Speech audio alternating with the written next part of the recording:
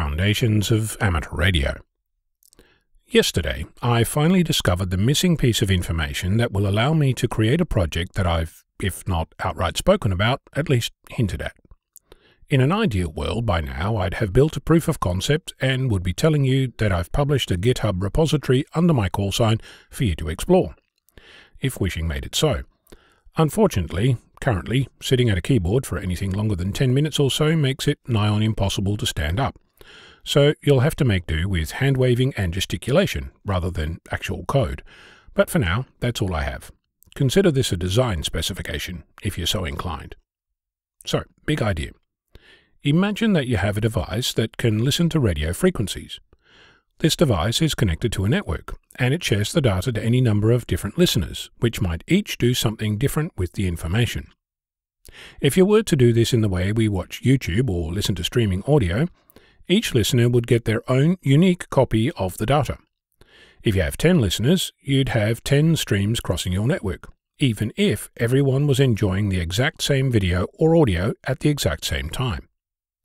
Instead, I want the data coming from the device to have only one stream on the network, and for as many different listeners or clients to access it as required at the same time. Let's get specific here for a moment. I'm talking about using a software-defined radio. Could be a $25 RTL dongle, could be any SDR that is tuned to part of the spectrum, let's say the entire 40 meter band, and sends that radio information digitally onto the network.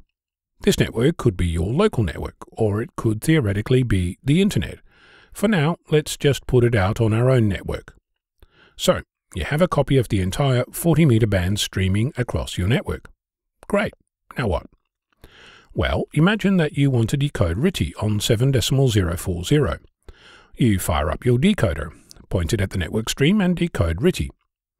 Then you want to decode a WSPR signal at 7.0386. You fire up your WSPR decoder, point it at the network stream and decode WSPR. Then you want to decode FT8 on 7.056. Same deal. Fire up your decoder, point it at the network stream, and decode FT8. Now you want to compare two different RTTY decoders. Fire them both up, point them both at the same stream, decode both simultaneously. Of course, you could do this with CW signals, with SSB signals, with any decoder you have lying around. Olivia, Hellschreiber, AM, Packet, whatever. All these decoders could be running independently but together on the same band.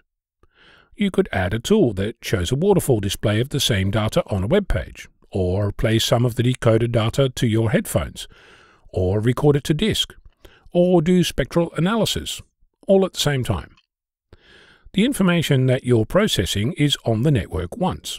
You don't have to flood your network with multiple copies of the 40 meter band. The only limit is how much CPU power you can throw at this, and, to be frank, most computers on the globe today spend much of their time waiting for you to do something.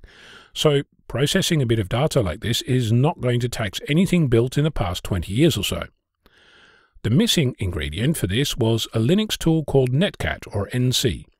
It allows us to distribute the information across the network using a technique called broadcasting. So, RTL dongle, data extracted by a tool called RTL underscore SDR, distributed across the network using Netcat, and used by as many clients as you can think of. The proof of concept I'm working on uses Docker to build a bunch of different containers, or clients if you like, that each can do a different task with the same stream. When I've got something to show and tell, you'll find it, predictably, on my GitHub page. Oh, and if you want to run the same thing for, say, the 80 meter band, you can.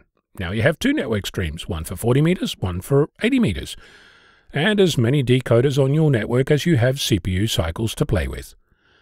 If all this sounds like magic, you've seen nothing yet.